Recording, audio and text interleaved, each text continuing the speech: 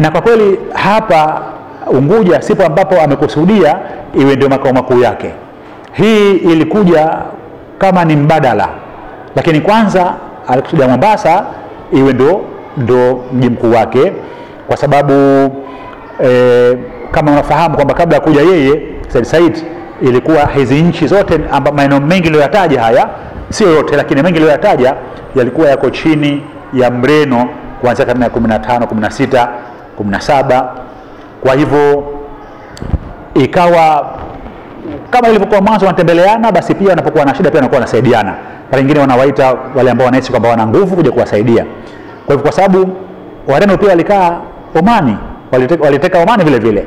Sasa walipo, walipoweza kule kuwatoa Mreno kumtoa kule Omani na huku kama tulivyoona katika zile safari zao, kama na huku pia kulikuwa na ndugu zao ambao walikuwa wanakaa katika maeneo fulani na walikuwa sio watu sio wengi, basi wanakuwa njoo tusaidie na sie, njoo tusaidie tumtoe.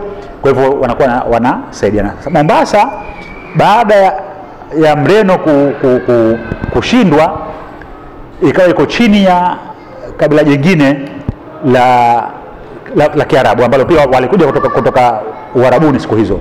Hii ilikuwa ni ma, Mazrui, kabila Mazrui ambalo pia Pemba pia alikuwa na sehemu vile vile, walikuwa sehemu kubwa alikuwa akitawala vile vile. Kwa hivyo ikabidi hasa Said Said na Mazrui ikawa na ugomvi kugombania Mombasa, lakini baadaye akaona bora aje huku, akaja huku na akawa anaondokea hapa kwenda kupambana Mombasa na maeneo mengine. Baada ya Mombasa pia ikawa ni sehemu ya, ya Zanzibar. Sasa kinachoendelea hapa ni kwamba watu wasione, wasione shida kwamba au wasi, wasi, wasione kwamba ugeni kwamba labda e, hizi nchi zilikubali kuwa Zanzibar iwe ndio kiongozi wao. Ilikubali kwa sababu kwanza kulikuwa kuna nasabu ma, ma, ma, wote wametoka maeneo yanayokaribiana ya lakini pia wote walikuwa ni viongozi. nategemea tu kiongozi mwenyewe anaitwaje. Katika baadhi ya maeneo kiongozi alikuwa akiitwa sultani, sultani. E, kuna maneno mengine akiitwa mfaume yani neno mfaume pia ndio kiongozi, labda ni mfalme, lakini wakiita mfaume. Kuna maeneo mengine wakiita mwenye mkuu, kwa mfano yule wa Halimu wa kusini ya Unguja akiitwa mwenye mkuu lakini pia akiitwa sultan. Kama mtu ataona barua zake za kuandika nyingine akiita sultan, jina la kiongozi Lakini pia masheha na mashehe pia. Kwa hivyo tumesema tuitaje hii historia hii ya kabla, ili tuone kwamba namna gani Uislamu ulivyokuwa hauna shida kuenea katika haya maeneo, kwa sababu tangu mwanzo yalikuwa watu wengi walikuwa wanafahamiana au wana asili ambayo inakaribiana.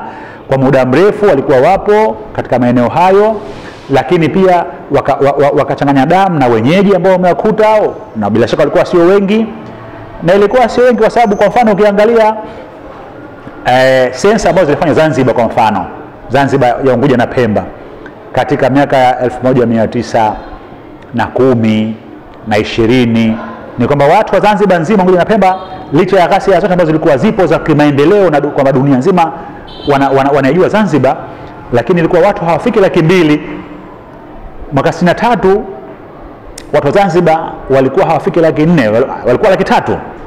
Kwa hivyo mambo yote yalikuwa yanafanywa kwa sababu ya, ya kwamba e, ni maendeleo ambayo yalikuwa hajawahi kuonekana bila shaka, na kwa mchanganyiko wa watu wengi zaidi ambao walikuwa wapo Zanzibar.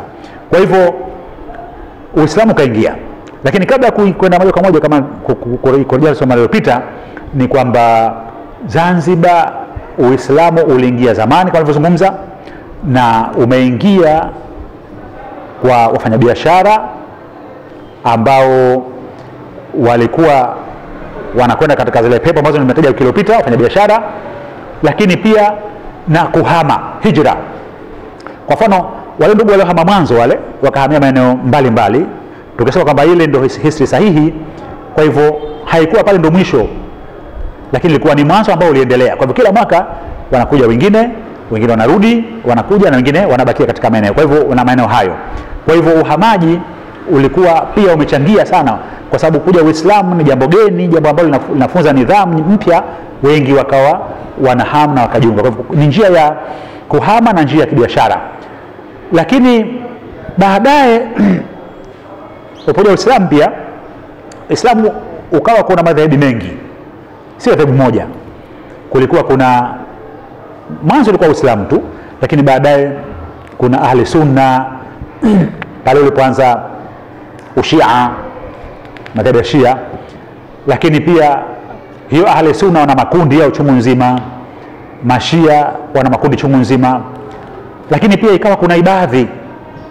Ibadhi pia wakaja wakaibuka baadaye, na ikawa hapa Afrika Mashariki kwa bahati wale watawala ambao walikuja baadaye kwenye, kwenye karne ya 19 na kusaidia kumwondosha Mreno, kwa hivyo wakawa ni ibadhi na wakawa wanaishi katika maeneo haya vile vile. Kwa hivyo kulikuwa na uhamaji wa watu wa kabla ya Uislamu ambao ilisaidia biashara ilikuwa inaendelea kupitia bahari ya Hindi na maeneo hayo ambayo nimeyataja hapo kabla, lakini pia uhamaji wenyewe baada ya kuja Uislamu. Kwa nini wahame Waislamu? Bila shaka kwa sababu ya iftihadi au shida ambazo walikuwa wanazipata na misimamo mikali ya, ya pengine ya baadhi ya wafuasi ambao unachangia kuwahamisha wengine. Yaani kwa mfano kama wamekaa watu wa zaidi fulani, wengine wanakuwa hawapendelei, kwa hivyo wale wengine wanakuwa wanahama, kwa hivyo watu wakahama. Kwa mfano Washirazi walihama kama tulivyoona, Ibadhi walihama na Waislamu wao kama tulivyokwisha kuona, lakini Mashia pia walihama na wakakaa katika maeneo mbalimbali. Hii ilikuwa tangu karne ya pili ya Hijiria, yani ya tangu, tangu Mtume kuhama kutoka, kutoka Maka kuja Madina au kuanza, kuanza, kuanza e, miaka hesabu ya miaka ya Kiislamu. Kwa hivyo karne ya kwanza yenyewe na ya pili ilikuwa zipo kwa sababu ilikuwa ni karne ya nane ya, ya mwaka kawaida wa, wa, wa kuzaliwa e, nabii nabii nabii Isa. Kwa hivyo history yetu hii imefungamana sana na uhamaji na biashara pamoja na lengo la kusambaza dini kwa, kwa watu wengine. Kwa hivyo jamii ilikuwa inaishi hivyo na hakukuwa na mzozo wowote ambao ume, umefikiwa, na ndio maana nikasema mara iliyopita kwamba baadaye Uislamu ukaenea ukaenea kwa njia ambayo si kwa njia ya ugomvi, kwa sababu kuna watu wengine, wanahistoria wengine wanageuza ile historia sahihi ambayo ina, inafahamika ya kwamba Uislamu umekuja maeneo haya kwa njia ya amani na ukafahamika kwa njia ya amani, sio kama ulivyokuwa katika maeneo mengine labda ya Afrika Magharibi, pengine kukaa kuna jihadi au kwa kutumia nguvu. Kwa mfano Afrika Magharibi kuna jihadi ya Danfodio, labda katika Sudani kuna Mahdi. Haikuwa hiyo. Hii ilikuwa kwa sababu watu washajuana, watu washatambuana vizuri, watu wana nasabu ya aina moja, kwa hivyo ilikuwa rahisi dini kuenea, na hivyo ndivyo ilivyoenea. Kwa hivyo hapa tunataka watazamaji wafahamu kwamba Uislamu Afrika Mashariki hakuna hata mmoja alilazimishwa kwa Uislamu wake, lakini hata pale Uislamu uliposhika hatamu kwamba Waislamu ndio wanatawala katika maeneo haya ambapo walikuwa wanaishi na watu wengine. Tunakwenda mbele na kurudi nyuma kidogo eh? Kwa mfano ile sensa ambayo nimetaja eh, eh, 1910 Zanzibar ilikuwa na watu kutoka mataifa mbalimbali na dini mbalimbali mbali, na makabila mbalimbali mpaka dini ya Kiyahudi pia ilikuwa ipo, dini ya Kibuda ilikuwa ipo na nyinginezo nyingi.